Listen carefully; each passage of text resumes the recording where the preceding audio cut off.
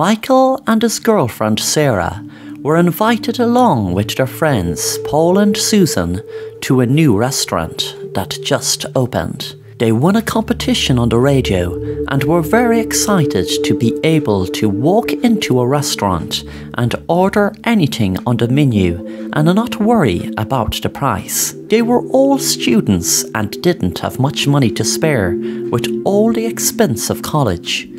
When they all arrived at the restaurant, they were admiring the outside of it. They heard a lot about it and knew it was very expensive which was another reason them winning a free meal was a great win. When they sat down in the restaurant and looked at the menu, they appreciated more not having to pay as the meals were so expensive. They ordered their food and ate their meals and were really impressed. When it came to desserts, Michael was the only one to order Death by Chocolate. The rest ordered just plain ice cream. They relaxed after the meal drinking coffee. When they were finished and decided to go home, they had ordered a taxi, and while they were waiting, Michael saw a truck coming straight for him and screamed. He was blown off the footpath and thrown across the street as a chocolate ice cream truck ran him over.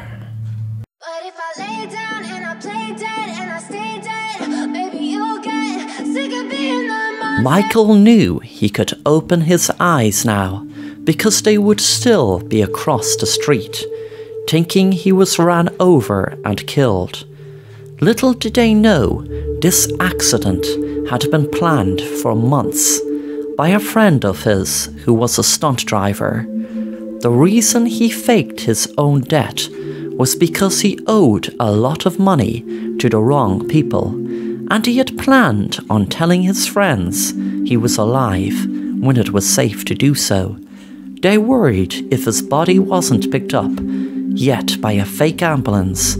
That was a part of the plan. Then a real ambulance will arrive. But Michael didn't have to worry because a sign pole that was hit outside the shop by the truck saying fresh ice cream on sale here fell and hit him on the head and he was killed instantly.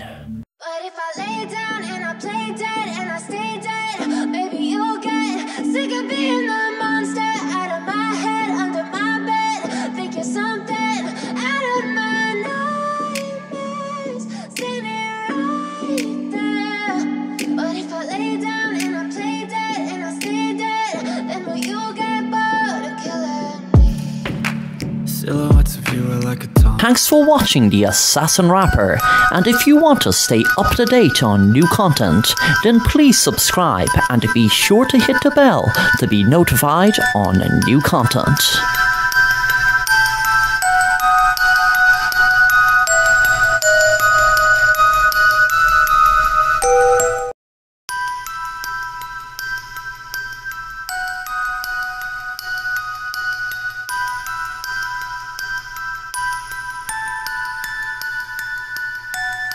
Joseph moved in with his wife Lisa to a house in a secluded area, but that suited him fine. They came from the big bright lights of New York City and wanted to move away from the hectic city lifestyle. At first, Joseph and his wife hated the quietness and stillness of the area. After a few weeks, Joseph found himself going crazy when he was trying to go to sleep at night with the sound of the waterfall nearby. It haunted him, and when he eventually did fall asleep, he dreamt of stormy weather or the waterfall while he was drowning in it. His wife seemed to just sleep through the night, and it never bothered her, no matter how loud or annoying it got. He wished he had earplugs, but couldn't believe they would do any good, as the sound was so loud. It was driving him crazy. The next day, when he got up, he just sat down, nearly falling asleep in front of the TV, because he couldn't get no sleep at night. One night it was different. It was almost like the waterfall was calling his name to come to it. The sound felt much, much different. It was like music to his ears. It was like the complete opposite of what it was like before. He was smiling at how appetizing the sound seemed to be. He got up from bed and got dressed and walked towards the waterfall. The noise of it was like beautiful, relaxing, soothing music to his ears. Then suddenly he saw the most beautiful lady. He remembered then. How could he forget? She was just standing next to the waterfall, waiting for him to embrace her, and that is just what he was going to do. Before he saw her skin colour change, and then he had realised the horror and what he kept locked away in a box in his mind and never wanted to open again. His wife had drowned in the waterfall a week ago, and he did everything he could to help her, but he just couldn't save her. He then realised who was the woman up in the house with him. Then he realised, of course, there was no woman up in the house with him. It was just his mind and the waterfall playing tricks with him. Thanks for watching The Assassin Rapper, and if you want to stay up to date on new content, then please subscribe and be sure to hit the bell to be notified on new content.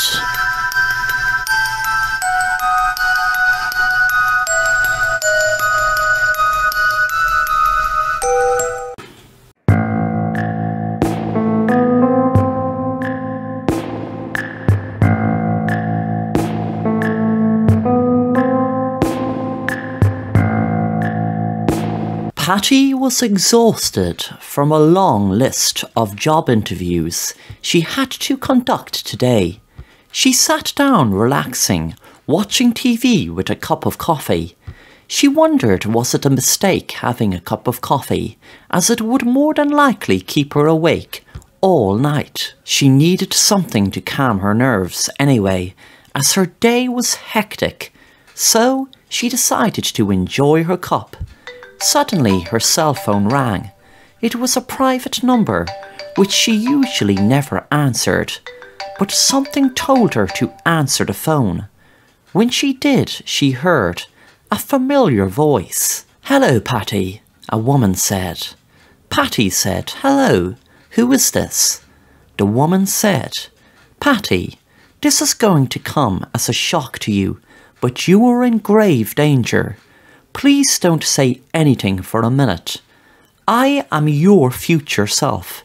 You're in grave danger because I am speaking to you from the other side. I can't show you myself because if you see yourself dead, it will affect a lot of different things. You need to look in your attic right now. There is a ladder in the hall that you were using to paint the hall. Now, what I need you to do to stay safe is climb that ladder, look to see is there a device like a bomb in your attic, and trust me, it will be there. It should be detonated in five minutes, but I'll tell you how to safely dispose of the bomb. Don't worry. Don't try to get out of your house, because the house is rigged. If you try to leave by window or door, it will activate the bomb Please don't waste any more time. Do it now. Patty was in shock when the person hung up. She wondered.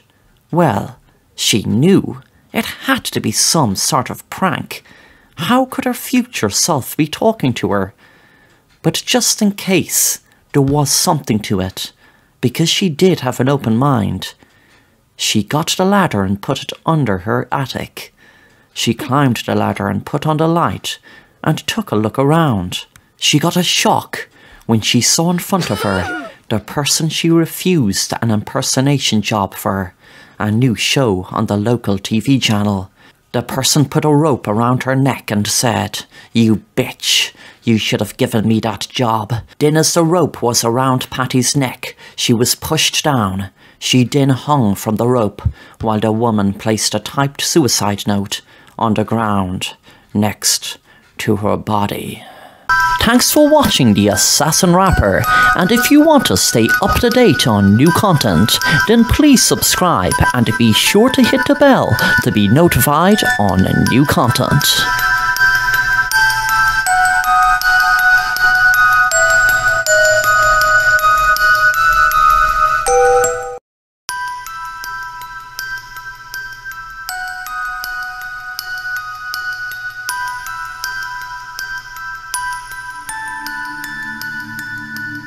Tony was lying on the operating table after being in a near fatal accident. The doctors were performing an emergency operation on him and they knew that he was dying, but they kept trying to save him. God knows enough people died in this hospital lately, a doctor said.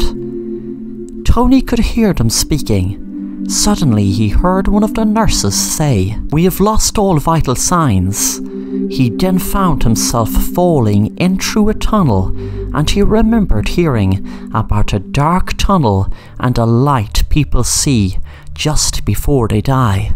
He then was looking down at the operation table from floating above. He wondered was this an out of body experience? Was he dead? He must be if there were no vital signs. Then suddenly he heard a nurse speaking to him. Don't give up. It's not your time to go. Keep fighting. Keep fighting. Don't give up whatever you do. Keep fighting. The nurse had a strong Irish accent. She continued to speak. Tony, you have so much more to do in this world. Don't give up. Come back. Don't leave. Your time to go is not now. Suddenly, Tony wasn't floating over the bed anymore, but he was back in his body and could hear a doctor say, Wow, that was something else. He was almost gone for 10 whole minutes. A nurse said, Vital signs are stable. Tony smiled, and a few minutes later, he was speaking to the nurse. But he realised it wasn't the nurse that saved him by asking him to not give up. The nurse said, You gave us all a fright, Tony, but what just happened was nothing short of a miracle. You were dead for 10 whole minutes. Tony said, Could I please thank the nurse with the Irish accent, please? She kept telling me don't give up, and that is what made me pull back from crossing over. The doctor said, Tony, there is no one here with an Irish accent. Well, luckily we don't have the nurse with that accent around her anymore. Tony asked, Why? What's wrong with her? The nurse said, The only nurse around here with an accent from Ireland was this crazy woman. She murdered 14 of our patients, and when she was found out, she shot herself in the head just before she did shoot herself, she started rambling on about she would make sure we all pay for getting her caught. Suddenly the woman froze, and the doctors, when the nurse with the accent from Ireland appeared and said, I made my penance after I killed those patients, and I proved it by bringing this patient back to life. But as for the doctors and nurses, who were the reason I was caught experimenting with murder, well, that's a different story. Within two minutes, everyone in the room were killed besides Tony. Soon after, the police were called, and Tony was arrested for multiple homicide of the nurses and doctors that were killed by the ghost of the nurse who saved him. Thanks for watching The Assassin Rapper, and if you enjoy the content then make sure to subscribe and hit the bell to be notified of new content.